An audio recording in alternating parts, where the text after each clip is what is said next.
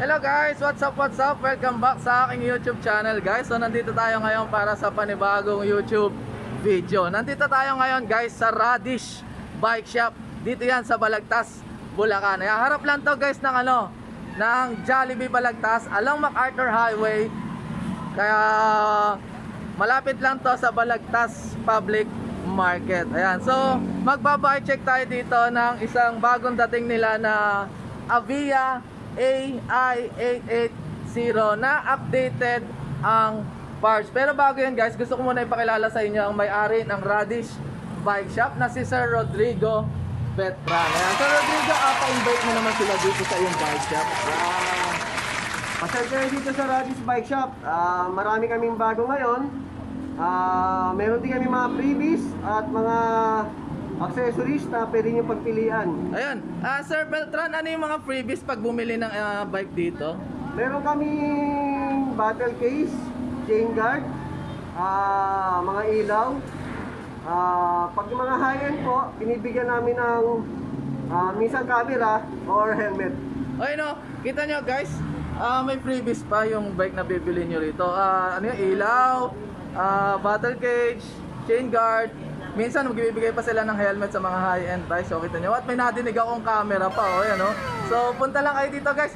Ah, by the way, meron sila rito home credit. Ang dami nilang bike dito guys, promise. Ang dami nyo mapagpipilian dyan. Pero ang ibabike check natin ngayon, itong upgraded version na AI 880. Bakit ko nasabing upgraded version guys? Kasi meron ako nitong bike na to. Ganito yung bike natin guys. Naka L2. Dati pa yon, dating dati pa. Pero itong bagong ah, version nila guys ay naka Shimano. Ayan. So, wala nang intro intro guys. Bike checkin na natin to. So ayan guys, ang ating ibabike check ko. AI. A Avia AI 880 upgraded version. So siguro ano na to, ah 2022 model na biglang ganun eh no. Ah simulan natin ang bike check guys, syempre sa kanyang frame. So makikita mo matte black ang pintura ng ating frame na merong ano to, blue, shiny na glossy blue, shining shimmering effect siya no. At pag kinapa mo to guys, medyo makapal siya. Para siyang sticker pag kinapa mo. Ang kapal talaga guys, promise. Kasing kapal nung ano may utang na hindi nagbabayad sa iyo, biglang ganoon ano, kapal oh. Tapos ang shape nitong down tube guys, ah square. Ayan, square to. Tapos may pa-bend dito sa may bandang taas. At internal cabling tayo guys. Isa. Tapos isa rito. So bakante yan. Itong nakikita ninyo dito guys na ayan yan, bakante yan. Ah, para yan sa FD. So ganito rin yung bike ko guys. Etong preno na nakikita ninyo dito sa ilalim, pinalipat ko dito. Ayan, pinalipat ko yung gantong bike ko. Gantong ganto ang bike natin guys. At dito meron tayong uod ng pagkaka-welding. At mahaba ang relasyon ni top tube sa ani down tube. Ayan, oh, kita nyo haba oh. Ayan. So hindi naman masyadong big deal ang ah, pag mayroong mga hinang ng pagkakahinang o yung we- yung uod ng pagkakahi welding pala welding ayan oh paano yung pinagsasabi natin nawawala tayo na may mental block tayo at dito yung model na AI 880 at may mga parang ano to kidlat-kidlat pa rito oh. ayan ang lapad dito guys ang lapad tapos pakitid na rito Ayan, so lahat ng makikita mong kulay blue dyan guys, para siyang sticker, kasing kapal lang sticker. Ayan, MTB series. At dito ganun din, marami uod ng pagkaka-welding. At ganun din sa ilalim, uod ng pagkaka-welding. At dito sa kanyang chainstay guys, may bewang. Sexy yan guys oh. Sexy wiwit. Parang may bewang oh. Oh, di ba? May bewang. At meron ditong bridge. At ito guys yung ah, stopper ng kable ng FD. Ayan. So kung dito pinasok yung kable, dito lumabas yan. Ayan, dito lalabas. Yan o. So ganun din sa kabila. Pag ito pinasok mo dun sa kabilang side, dito rin lalabas yan.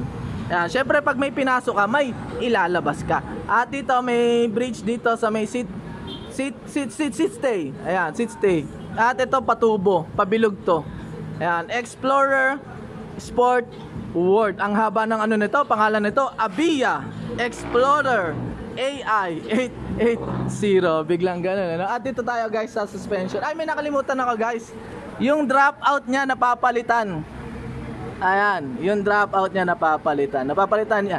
Yung akin guys, nilagyan ko ng Goat Link kasi naka 42 teeth ako na malaki. Alloy to guys, alloy, alloy Lodi. At ito guys yung kanyang crown, ayan no, alloy Lodi to, alloy. May manual lockout yan, ito, close open. At meron siyang preload dito sa kabila. Ayan no, ganda nito. At yung stanchion niya guys, ah, 115mm ang haba niyan guys. Sinukat ko gamit ang medida. At itong arc niya guys ay bakal. Ayan, itong lower naman bakal. At itong nakikita nating abiyan na to guys, pintura to. Makapal din yan guys, parang decals din yan. At ano to, ah, naka quick release tayo load. Ay hindi, Ball type na to guys, ball type. Ayan, naka ball type. Tapos yung hubs natin, bakal. At bilangin natin yung task bu 2, 4, 6, 8, 10, 12, 14, 16 32 holes Ang ating hubs na bakal Ah, Crown bearing pa to guys Kung hindi ako nagkakamali Ayan Bakal lang ating spokes Double wall alloy na rim Na palagay ko nasa 25mm to or 20mm At ang gulong natin Wala akong nakikita tatak guys Wala talaga Tingnan natin sa kabila kung meron Ah, wala talaga guys. At sukat niya ay 29 by 2.35 ang lapad nito guys. Pero itong spikes niya guys, ah, palagay ko all terrain to. Ito, pang all terrain yan. At dito tayo sa kabila guys, bakal pa rin na hubs. Ayan, bakal. Ah, dito ball type pa rin, parehas ball type, harap at likod. Ah, 32 holes na hubs. Bakal ang ating spokes. Ah, double wall alloy na rim, 25mm kung hindi ako nagkakamali dyan.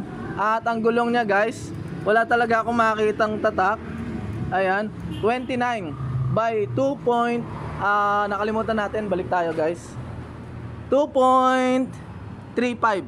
Ayan, 2.35. So parehas dito sa harap at likod. Ito, ang ganda oh. All terrain. So kahit saan ka pumunta, pwede yung gulong mo.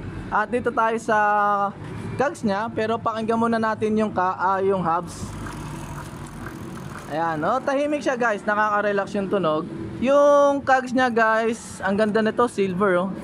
Napakalinis tingnan yan. Ayun no, wag lang maggagrasa kasi mangingitim yan. Ang tatak niyan, ah, wala akong makita guys na tatak. Kung, kung hindi ako nagkakamali, ano to guys, threaded. Threaded to kasi meron ako nakikitang ah, space doon sa may ah, cogs doon sa loob. Ayan. At kung hindi ako nagkakamali, 13 to. Ayan, silipin natin baka may nakasulat. 13 to 32. Kung hindi ako nagkakamali. Ayan, 13 to 32 to. Yan. At dito syempre, ito yung sinasabi ko guys na upgraded version. Kasi yung akin, naka L2 lang yan. Ito ngayon, naka Shimano Alivio. Ayan, palagay ko pwede to hanggang 42 teeth. Etong Alivio na to. Ayan, ganda nito guys, promise oh. Ah, oversize ang kanyang tension pulley. Oversize ang kanyang guide pulley. Ganda, promise oh guys, oh, naka Shimano ka na. At ang kadena natin, FFC-FC73 Narrow. Yan, hindi ko alam. FC. May, ngayon ko lang na, ngayon lang ako naka-vibe check na to, FC guys. Ayan oh, hindi ko pala nakita. Wala pala sa focus yung camera natin. At ang crankset natin ay 1 by nawawala talaga sa focus ang camera natin pag may dumadaang chicks. Ang dami dumadaang chicks dito. Yo. Ragusa ang ating crankset. Alloy ang ating crank arm.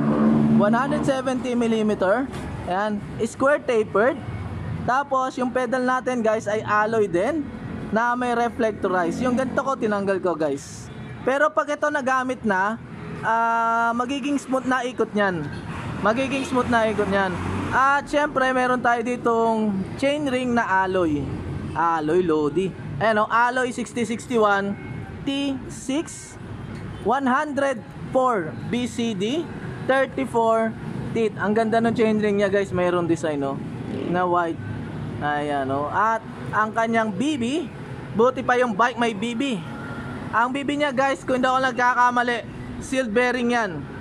Yung mga ganyang ah, BB, sealed bearing na yan. At dito tayo ngayon sa seat clamp. Ang seat clamp niya ay alloy pa rin guys, alloy yan. At ang sa seat post niya guys ay bakal 20, 31.6 ang taba at 350 mm ang haba. Tapos ah ang clamping system niya ito, yung pa pa ano siya pa palapit sa isa't isa. Ito to 'yon. Yan, yan, no, 'di ba? At ang upuan natin ay meager. Meager ba? Meager. Basta yun na 'yon. At ang, kap ang kapal nito, guys, oh. Oh, 'di ba? Oh, hindi ko mahawakan, no? At hindi siya ganun kahaba, guys. Hindi siya ganun kahaba. Kumbaga, sabi nga nila, ah, pangkaraniwang haba lang, ayun, no? At may kanal dito. Diyan dadaan yung ihi mo pag naihi ka. Tutulo dito yan. At ito yung hiwa. Diyan dadaan ang utot mo. At ito guys, ang lapad. Promise. Sarap upan nito. Swak na swak ang, ang puwet mo rito. Ang kapal ng foam. Promise guys. Hindi mo mararamdaman yung lubak. Kasi tatalbog lang yung puwet mo dito sa, sa foam na yan. No? At dito tayo ngayon sa handlebar. Yung handlebar niya guys, sinukat ko 720 mm ang haba. Ah, na-magnet ko na rin siya guys, bakal. Ayan, bakal ang ating handlebar. At yung stem niya guys ay 70 mm ang haba, made of alloy yan. Oh. Ayan, alloy lodi. Ang head cap niya guys, alloy din. Ang spacer niya guys, isang piraso lang. Isang piraso lang yan na 40 mm yata to. Ayan, isa lang yan. So either iaangat mo lang yan, yun lang yung pwede mong choice. At pero yung kanyang dust cap alloy lodi. Ayan, 10 mm. Ayun no. Ah, palagay ko guys integrated ball bearing to. Ito yung head tube niya guys, nakalimutan ko kanina. Straight yan guys. Yung head tube niya straight. Diretso diretso yan. Ito may design lang yan. May design lang yan na pa ganun. At ito yung logo ng Abia guys oh. Abia. At ang ating lever. Ayan, ang lever natin uh, RSX mineral oil. So naka hydraulic brakes tayo. Ang ganda nito guys. Bakit? Kasi two finger lang. So yan yung mga hinahanap ko mga hydraulic lever lalo na sa mga budget. Kasi nga two finger lang, mas marami yung daliri mo sa handlebar, mas safe pag mas marami yung daliri mo sa handlebar yan. So yung akin kasi guys, tat dati tatlo eh. So dalawa lang yung daliri mo sa handlebar, delikado yon. Pero kung may makikita kang one finger, kaya lang mahal na yon. Mas safe yon. Ayan, no? At syempre sa kabila, RSX. Uy, ang lambot. Uy, sarap oh. Ang lambot guys, so promise. RSX, andito yung ano niya, bleeding. Yung, yung pang ano niya, panglagay, palalagyanan ng mineral oil. Oh. So wala kang makikitang shifter dito guys. Ayan, kasi naka one by lang tayo. So wag maghanap ng wala. Baka pag hinanap mo, iwan ka niya, no? Biglang gano'n, ano? At Shimano Alivio 9 speed, mega, mega, mega, mega, parang sardines lang, ah. mega elite. Ayan, meron siya ditong indicator guys, kung anong speed ka na. So hindi ka na mangangapa at hindi ka na manghuhula. Ayan, at ang ating grip ay gomang goma to guys. Yan, goma. Wala tayong end cap kasi meron na siyang cover doon mismo sa kanyang grip. Ayan, at dito tayo sa kanyang ah, caliper. Caliper niya guys, ganun pa rin RSX IS mount. Ayan, meron siyang kasamang adapter 140mm at 180 mm. Pero yung ating ah, rotor guys ay 160 mm. Ayan, so ang ganda ng design niya guys oh. Ang dami. Ang dami nung parang ano rito, connector. Ayan oh. At punta tayo sa kabilang caliper guys. So ayan ito yung caliper guys sa likod, naka post mount na siya. Na RSX din. So ang ang shape niya parang Lego, kagaya ng mga sinasabi ko sa ibang bike check ko. Para siyang Lego kasi meron siyang kanto rito. Ayan, post mount. At 160mm din na rotor. Ito kagandahan nito guys. Merong bike stand. Ayan o. So hindi mo na itatayo kung saan saan yung iyong bike. Kasi baka bumagsak lang yan. At ito yung kabilang side nung crankset natin. Ito yung crank arm niya. Ayan o. Ang ganda nito guys, promise. Palagi ko wala na ako nakalimutan. Sulya panuli natin to. So ayan guys ang ating bike check video ng Avia AI 880 Alivio 9-speed hydraulic brakes. Ayan nagkakalaga nga pala to guys ng 12,500 pesos lang. Dito lang yan sa Radish Bike Shop. Ilalagay ko sa description guys yung kanilang Facebook link, contact number. Ayan para sa mga gusto mag-avail nitong binike check natin na na bike. Ayan by the way guys, tumatanggap sila rito ng home credit para sa mga naghahanap ng hulugan na bike. Tumatanggap din sila ng ah, GCash, cash, saka bank transfer. Ayan oh. So ang dami pa nilang bike dito guys. Ang dami kayong pagpipilian dito. Mountain bike, road bike, meron din sila ditong frame. Ayan, dami oh. S-Work, Mountain Peak, Summit. Tapos meron din sila mga airport dito. Ayan. So, punta na lang kayo rito or message kayo sa, sa kanilang Facebook sa mga gusto mag-inquire nung price at availability ng kanilang mga ah, bike at parts. Ayan. So hanggang dito na lang guys ang ating video. Huwag kalimutan pindutin ang like. Mag-comment ka na rin guys kung ano masasabi mo dito sa ating binike check. Pero ako nagsasabi guys sa inyo, base sa aking experience, ganito ang bike ko. Ayan, no? iba nga lang ang group set. Ayan, no? Sulit na sulit ang ipambibili mo rito dahil ilang buwan ko na rin gamit itong ganitong bike. Ayan. At huwag kalimutan pindutin ang subscribe button guys. Road to 5,000 na tayo. Ayan. Ganito na lang guys. Maraming salamat sa panonood. Bye-bye.